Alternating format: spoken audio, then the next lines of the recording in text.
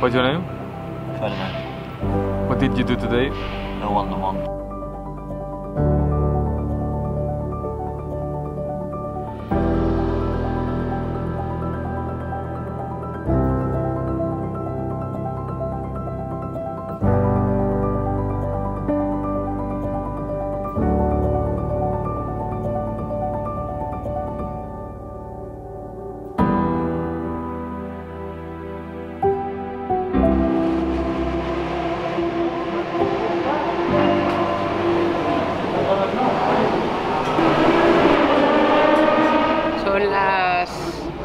12.04 del día de la carrera, ¿A qué hora empieza?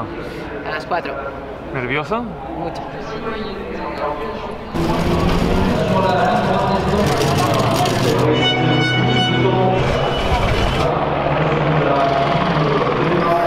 Very, very excited about this moment. My God, this is exciting. I remember this.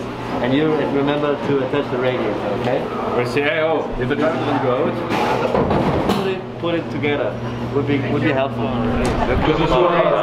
at this old helmet. This is like vintage Ferdinand. I get, I get. yeah, the car's as ready as it's going to be. I think we're all ready to go and see what happens. Excited? Yeah, for sure. Super excited. Uh, a lot of things can happen. It's so mixed conditions. You can get lucky or unlucky with a few tenths of pressure in the in the in the tires. Of course, we want to be leading, but for now, as long as the car is in one piece, we're happy. You have a uh, like a, a wasp on the. For me, the number one, the association SRT is. See,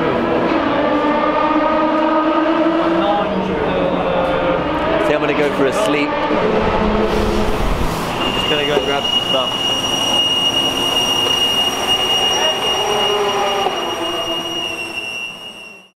So now we have uh, 19 hours and 18 minutes to go.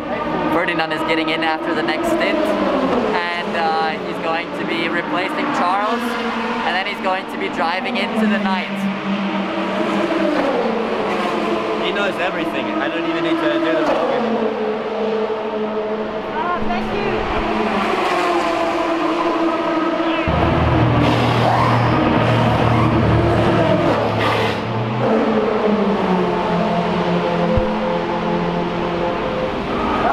Le Mans, midnight. Um, 15 or 16 hours still to go. Fantastic job by WRT and Ferdinand. Uh, currently leading the, the race in LMP2. Uh, Ferdinand's just done a phenomenal stint, uh, which is still in the car. So far so good, no mistakes. They're doing the job. It's been a crazy race. Um, here we are, what, eight hours into the race uh, 16 to go and so far I don't think I've ever seen a Le Mans with so many accidents. Every 10 minutes the, there seems to be another accident.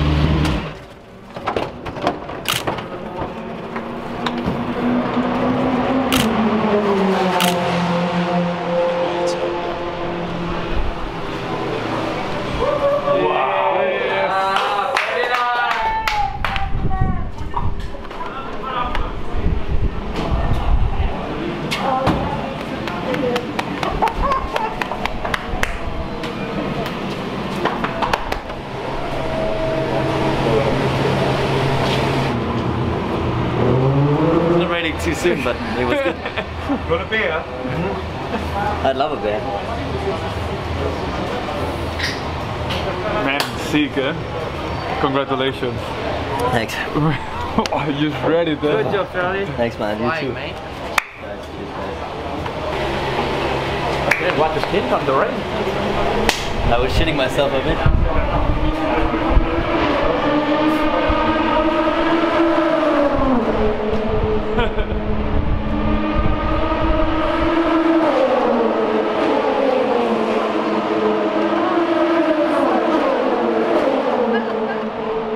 My ears are hurting so much because the pressure from the helmet are pushing on your ears the whole time. And I was like, in the safety cars, I was like trying to move my helmet. Ah, Actually, I feel okay, but I need to go and sleep. My next time I'm getting in the car is in four hours, so like five in the morning. And it's one in the morning now. You're tired? I'm not tired because the adrenaline is still high, but uh, I know I need to calm down because I can't stay like this for the next four hours because I will be screwed in the morning otherwise. Yeah, I did uh, four stints, which is longer than I was supposed to do, but we were really fast, so I got in the car in P5, I think, and left the car P1 with a 60 second lead, which is awesome. So yeah, you shouldn't celebrate too soon though because the race is still like 20 hours long or something. No, less. I think it's 18 hours now. But, no, it's easy to calculate. 16, yeah. In 15 hours, 15 hours, it'll be over. 15 hours is a long time.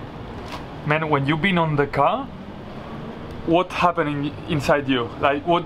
¿Qué pensabas? What did you think? you ¿Qué know? pensabas? Yeah, Yeah. I know what that means.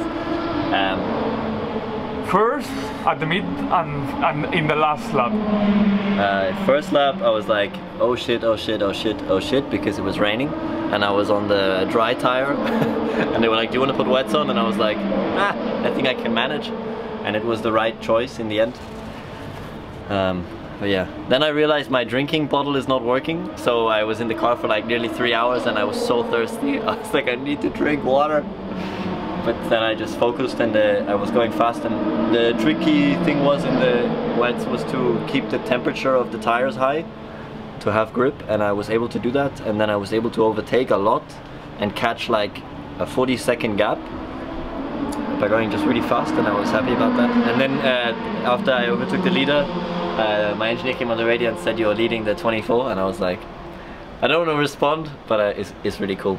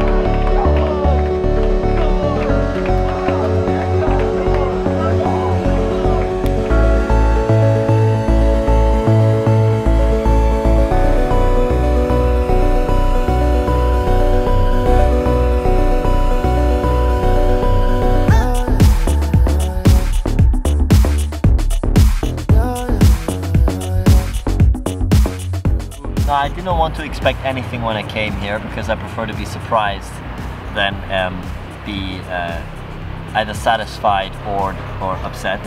And uh, clearly that worked very well because we were very surprised, um, taking the lead on the last lap uh, to win this. We were leading for so much in that race and uh, just a few trickeries and problems that came at the end was like like strange because I felt like I drove so well and I was like I'm really proud of myself and I'm proud of everything that everyone's done and sometimes you can't control what happens. So I just was accepting the situation that it was just not going to go our way today and just kind of appreciate that we we did so well for so long um, without any mistakes. But uh, then I just sort of continued having faith that something might still happen and it couldn't have happened any closer to the end where uh, unfortunately the other car had a problem and we won the race.